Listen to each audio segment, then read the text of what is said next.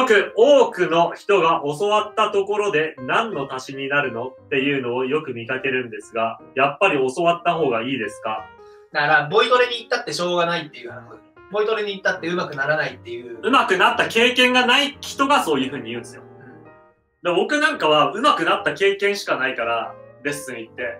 レッスン行かない、行ってない人とか見ると、レッスン行きなよってやっぱ思いますからね。いっぱいいると思いますよ、でもそういう人ね。よくボイトレとか行ってあるんですって、なんかレッスン行ったら、初めの15分ぐらい CD みたいなのかけて、発声練習しててくださいって言って、なんか外に出ちゃって先生が。で、それで帰ってきて、ちょっとマイクで歌って、レッスン終わりみたいな。そんなんじゃ歌上手くなんないですよ。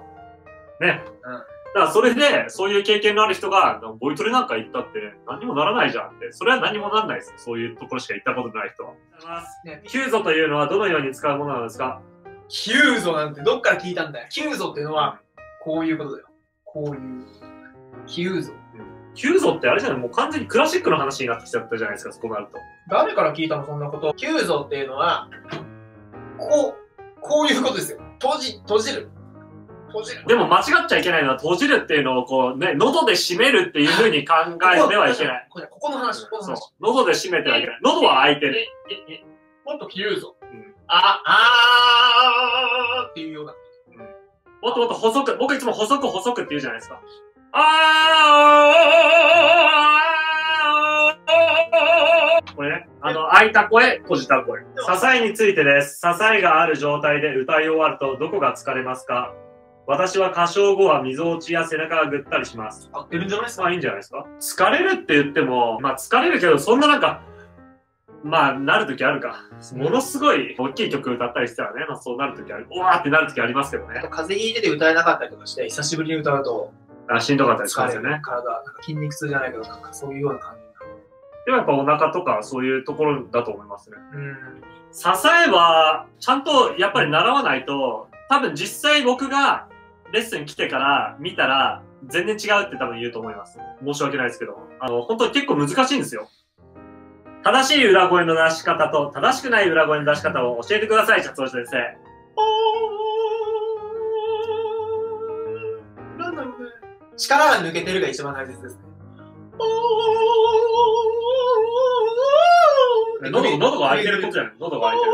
あ、そうですね。地声も裏声も一緒ですよ。うん。ここが鳴ってるっていう感じで、感覚でやるべきだね。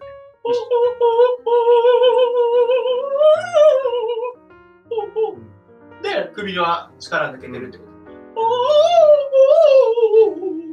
首フラフラしててもできる。こうやって、こうやって固めないとできないっていうのは違うかな。それはまあ地声と裏声一緒じゃないですか。そう、一緒なんですよ。一緒ですよ。一緒でーす。今ハミングでロングトーンの発声練習をしてます。これは歌は上手になりますか？うーん。また、そのハミング鳴らしてる場所次第ですね。ハミングの場所が間違ってたら意味ないですからね。ハミングの場所が合っていれば意味は、まああると思いますよ。これで歌上手になるかって言ったらちょっと違います。ちょっと違うと思いますね。舌骨と甲状軟骨、喉仏の間に指が入れば、喉が開いていて、入らなければ喉が閉まっているという解釈は正しいですか？正しくないです。入るもん。上がってても入る。えだから下がってれば開いてるってわけじゃないですからね。下がったらもちろん入るけど、あ上がってても俺入るよ。体の作り次第じゃなあ、い俺も上がってても入るわ。